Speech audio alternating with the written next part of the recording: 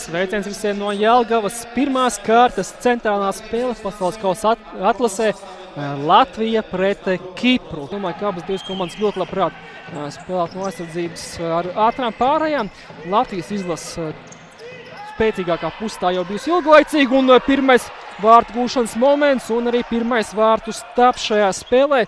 Šo tālo piespēli Un tad jau pats Bondars met tālus priekšsaņas, atmet bumbu Maķušenko, Maķušenko apgriežas un pirmais sitiens šīs saiknes. Un, arī agrāk tā bija, ka, piemēram, varēja būt Nikarčinieks, tikmēr moments Vanesovam un Nec, Jānis Patrs atvainojas, tas ir pastars, pieslēdzies uzbrukumam un atvēra bumbu ar kāju.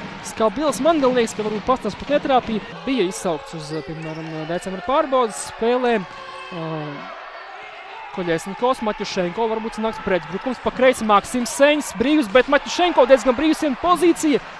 Paspruka kipriešu uz sauniem un atstāja pilnīgi brīvu debitēju. Viņš atlases ciklos 2002. gadā, Tālijā 2002. gadā, tikmēr pretbrukums Kiprai un huh, pažēli mums šeit kiprieši. Un sapinies ir tīklā Periklevs. Steidza viņš pie tālā vārdu staba jau kritienā. Atkal Pereira. Meklē partnerus Pereira. Jā, nu, piespēlē tālāk Klumbrim un stūris. Tiesneši viņam piekrita.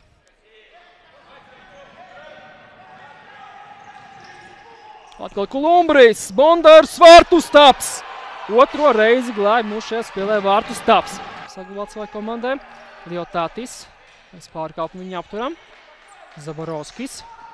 Koļesņikovs. Varbūt siedmiņu izspēlēs. Latvija izspēlē un... Netrāp. Zaborovskis.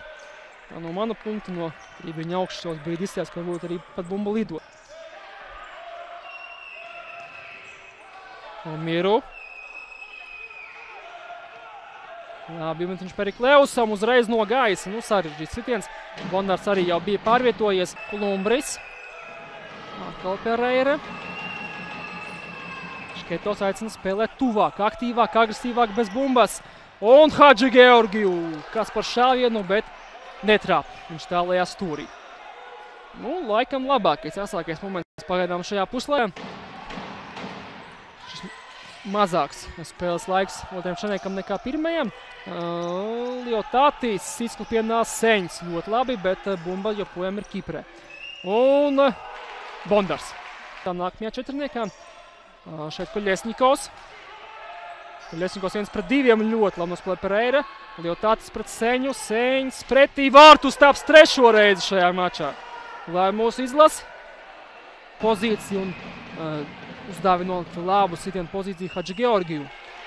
Pretsbrukums Jānis Pasters. Varbūt tagad kaut kas sanāks. Jānis Pasters sit un netrāp vārtu rāmi Jānis.